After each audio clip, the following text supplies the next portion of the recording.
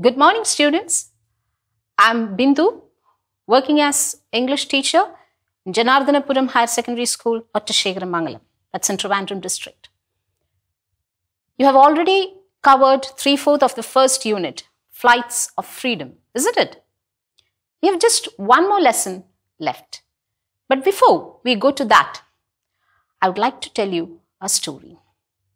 You all love listening to stories, right? Yeah, every one of us love it. I know. Actually, this is not a full length story. I'm talking to you about a character. Her name is Nita. It's a slice of life, a foot for you to think.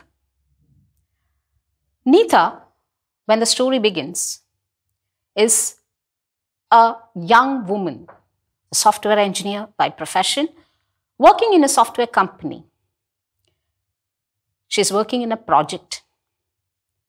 And you all know how busy these people are. And all the other members of a team are married women of almost same age and same background. They never get time for loose talks because they are all very busy. During lunch hours, they used to sit round the table and they used to have long chats. And most of these chats include the usual standard complaints of all working women how to balance a personal and professional life, about the issues in family relations, and so on. But Nita never said anything. She always kept quiet. And all the other women, they asked, Why? What happened? Why? You don't have any problem at home? Are you okay? Do you have a smooth and happy life? And she said, Yes, I don't have any problem. I have a perfect life. All the other women were very jealous. Oh, they said, Oh, so you're having a happy life? You don't have our problems? So you are Mrs. Perfect? She didn't answer. Years went by. Project was over. People went their own way. Later, once, one of the team members saw Nita. Now she looks very old with grey hair, very frail, sad, and depressed. Now, this lady couldn't believe.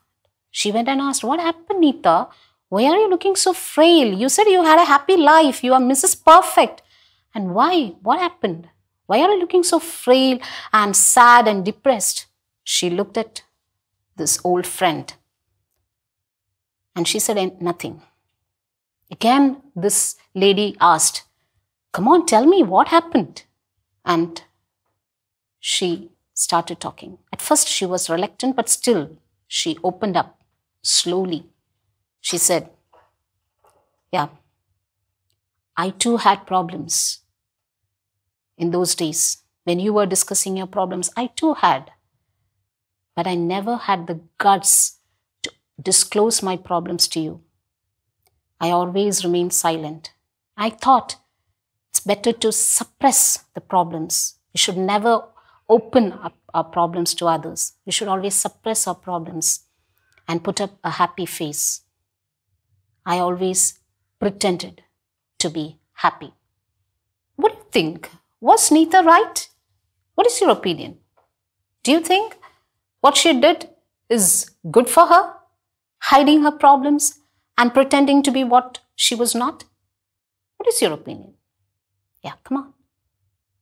Yes? Yeah. It is not. It is not the right way. I fully agree with you. This is not the right way. Hiding problems, suppressing problems. Every one of us have got problems, isn't it? You and me have it. But when does it start troubling us? When we don't accept it. When we are not ready to accept that I have got this problem, we don't accept it. And those cases, it starts troubling us. Isn't it? Haven't you experienced it? Then, at times we try to hide it from others. Again, in those situations also, it's going to create problems for us. And sometimes, certain problems, we cannot find a solution. And what should we do? Should we hide it and keep it in our mind? No. we should share it with someone very close to us. If we do that, our problems will not be big problems. We'll be able to solve it. Don't you think so? Do you agree with me? Okay. Keep this character in your mind, Nita. Because once we start the lesson, once we go through it, we'll come back. We'll revisit this character. So keep this as a backdrop till the end of the lesson. Keep it in your mind. This character and what she did. Keep it in your mind as a backdrop. Okay, let's go to the last lesson of the unit. It is Horigelu, an anecdote by Sudha Murthy. You might have heard about her, right? She's a writer and also a teacher. She has written both in Kannada and English. She has written several novels, short stories, travelogues, and technical books. Now, what we have in the text is an anecdote by her. You know what an anecdote is? It's a brief narrative of an interesting personal incident. Sudha Murthy, in her anecdotes, familiarizes the readers with simple style of storytelling. She entertains them with a wide range of travel experiences, introduces them to ordinary people with extraordinary minds and inspires them with fresh, positive thoughts. When we read her books, we often feel that she writes not with her pen, but with her heart. She has rightly said having good relationships, compassion, and peace of mind is much more important than achievements awards, degrees, or money.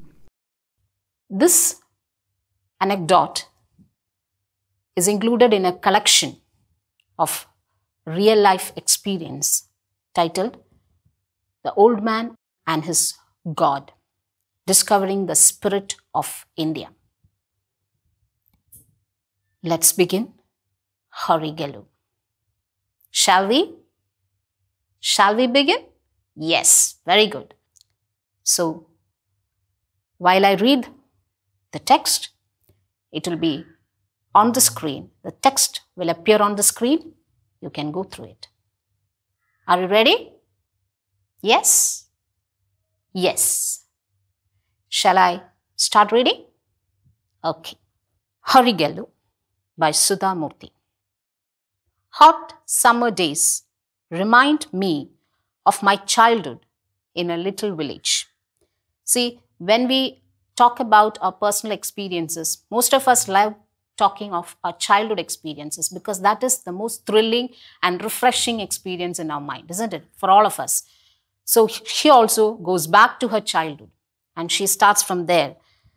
There was a large banyan tree right in the middle of the village, and I would spend many hours playing under it during my holidays. The tree was like a massive umbrella. Massive means a huge, huge umbrella with its branches providing much needed shade and succor. Succor means support. Travelers spend some time sitting under it and catching their breath before going on their way. Catching the breath is a figurative expression. Catching the breath means struggling for normal breath after some strenuous work. To make them comfortable, there was a horigelu under the tree. Horigelu literally means a stone that can bear weight. Have you seen horigelus? Nowadays it's not so common, but in olden days there were a lot of horigelus. So you can see a picture on the screen and I'll read what it is, what it looks like. It was a large flat stone placed horizontally over two vertical ones, thus making a stone bench on which anyone could sit and rest a while, chat with a fellow traveler, and exchange news of the road. Do you know the Malayalam word for Horigelu? Any idea? There are a lot of Malayalam words for Horigelu. One is Chumadu Tangi. Chumadu Tangi. Chumadu Tangunnadu. Another word for Horigelu? Attani. Something which supports you. Okay, let's come to the text. Cool water would be kept in earthen pots near the bench and people could quench their thirst. Quench means satisfy. Before starting their journeys again. I'm sure similar, simple arrangements can be found in villages all over the country. Now, in the first paragraph, she is describing that object horigelo, how it looks like, and what is the purpose of horigelo. Did you understand? So, what is a horigelo? Yes, chomadadani, attani. And what is it used for? To keep our loads so that you can uh, refresh yourself, re relieve your muscles. Okay, let's come to the next paragraph. The Horigelu in our village holds special memories for me as it is inextricably linked with my grandfather. Now, she's in the second paragraph. What Sudha Murthy, the author, does is she is trying to link this object Horigelu with someone very close to her. Who is that? Can you tell me? Yes, grandfather, her grandfather. She's trying to link it and she uses a word inextricably. What does it mean? Inseparably. Yes. So she's inseparably linked with. Horigelu is inseparably linked with her grandfather. He was a retired school teacher and would spend hours every day sitting under the banyan tree and talking to those resting there. When I would get tired of playing, I would sit next to him and observe the people he was speaking to and listen to their conversations.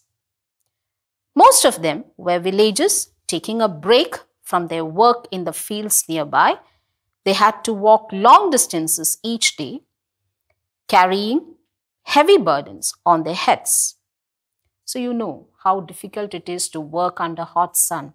So these people, some people were used to work in the fields under hot sun, so they feel very tired. And some people will be carrying heavy loads and they too feel strained and stressed. Tired out by the heat, they would drink the cool water, wash their faces with it, and chat with grandfather. Their conversation would be about their daily lives and worries. So, most of the time, they talk about themselves, their worries, their tensions, their problems. See, in the following paragraph, the author gives some pieces of conversation she used to hear. Master Ji, this summer has been so hot. I have never seen such dry weather. That is one piece of conversation. Another one is, Master Ji, it's getting difficult for me to carry these large loads on my head. Thank God for this Horigelu. I wish my son would help, but he only wants to go to the city. They spoke about the difficulties they lived with. My grandfather could only listen to them, but just talking to him seemed to refresh them from, for the journey. After some time, they would pick up their burdens with some ease and go on their way. The Horigelu was an important feature in their lives. And as a child, I would often not understand why they blessed it so often for being there. After all, it was only a stone bench. So Sudha Murthy could not understand why these people say thanks to Horigelu, why they are blessing Horigelu. She couldn't understand because she was a small child. She thought, why? It is after all a stone bench. And then her grandfather told her something which is very important. Let's see what he said. Child, a horigelu is essential in any journey. We all carry our burdens according to our situations and capacities. But every once in a while, we need to stop, put down that burden, and rest. Only then can we be refreshed enough to pick up the load once more. The Horigalu gives everyone that opportunity to do so. It helps people regain their strength. Now, focus on two words journey and burden. Journey എന്ന് പറഞ്ഞാൽ എന്താ എന്താ journey യാത്ര ഒരു സ്ഥലത്തു നിന്ന് മറ്റൊരു സ്ഥലത്തേക്കുള്ള യാത്ര അല്ലേ ഒന്ന് ആലോചിച്ച് നോക്കിയേ നമ്മുടെ ജീവിതവും ഒരു യാത്രയല്ലേ where ഡിറ്റ്സ് it start from Yes, at the point of birth. And where does it end? When we die. Yes, from birth to death. Life is a journey. So, if journey is life's journey, you have to define the word burden also. What is the meaning of burden? Load. The load that you carry with you when you travel from one place to another. Yes, load. If we call life, if we call journey life's journey, then what is burden? Is it the heavy bag that we carry? നമ്മൾ തൂക്കിക്കൊണ്ട് നടക്കുന്ന heavy ബാഗാണോ load എങ്ങനെയാണെങ്കിൽ no then what is it yes our problems our tensions and where do we keep it do we keep that load on our head or on our shoulder no, within our heart. At times, you know, it increases. Our problems increases. Our heart becomes heavier and heavier. And it pressurizes. And it is not good for our mind and for physical well-being. Isn't it? So if you are pressurized, uh, is it good for our mind? Is it good for our physical body? No, not at all. Isn't it? So we have to unburden it. നമുക്ക് നമ്മുടെ വറീസിനെയൊക്കെ എടുത്തൊരു ഹൊറിയല്ലുവിൻ്റെ പുറത്തു കൊണ്ട് വെക്കാൻ പറ്റുമോ ഇതുവരെ കണ്ടതുപോലെ ചെയ്യാൻ പറ്റുമോ no What shall we do then? Come on. What shall we do? Yes, talk to somebody. Talk to a person close to us. Very good. Share it. Share it with our friend or someone very close to us. And that is very helpful to release this pressure. Now, these people, who, when we talk to them, those people who listen to us, these human beings, they help us regain our strength and continue the life's journey. Now, these human beings are acting exactly like that physical horigalu. Do you agree with me ഈ നമ്മുടെ പ്രശ്നങ്ങൾ കേൾക്കുന്ന മനുഷ്യർ എന്താണ് actually ചെയ്യുന്നത്? ആ ചുമട് താങ്ങി ചെയ്ത അതേ ജോലി. അപ്പം നമുക്ക് അവരെ മറ്റൊരു പേരിൽ വിളിക്കാം. Shall we call them human ഹൊറിഗലൂസ് shall we yes human ഹൊറിഗലൂസ് ഒബ്ജക്ട് ഹൊറിഗലൂസ് അൺബേർഡൻ ആ load and bring relief to our body, whereas human horigelus unburden our worries and bring relief to our mind. No doubt, as Sudha Murthy said, horigalus are essential in our life. So, we have reached the end of the first session of this anecdote, and I'll give you some questions. Not very heavy questions, simple questions. Horigalu is a dash. That's the first question. Second question The travelers blessed the Horigalu in the village because there are four options given. First option it provided them a place to rest. Second option it helped them quench their thirst. Third option, they would often meet up with old friends. Fourth option, by resting and venting out their worries, they would regain strength to go on with their remaining journey. I'll repeat the options once again. It provided them a place to rest. It helped them quench their thirst. They would often meet up with old friends. By resting and venting out their worries, they would regain strength to go on with their remaining journey. Rewrite the sentence given below by substituting the words in italics without any change of meaning. Cool water would be kept in earthen pots near the bench. Identify the figure of speech used in the sentence.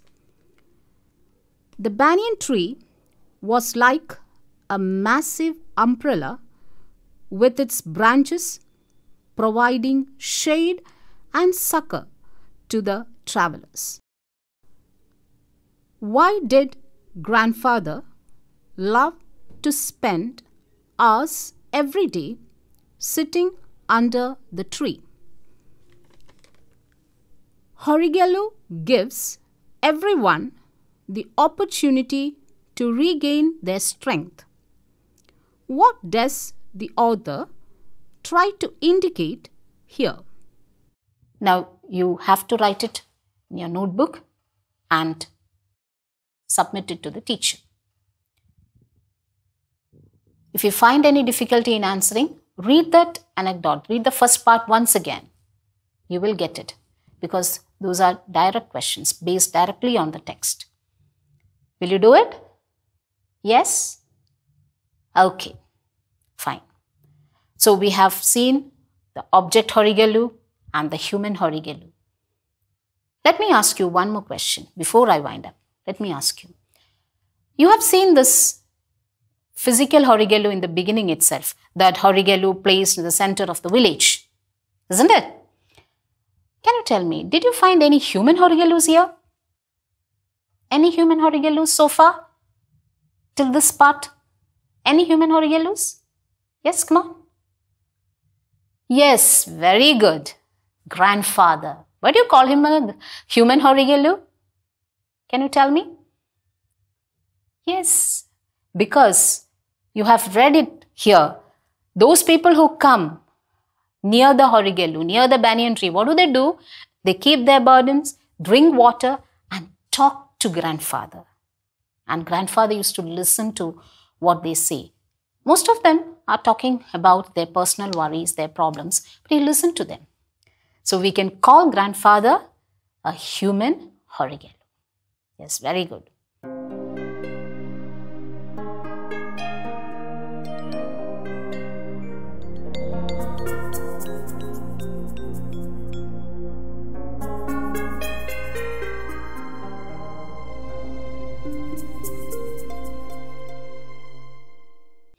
So, with that, we come to the end of today's class. We'll meet again. Till then, take care.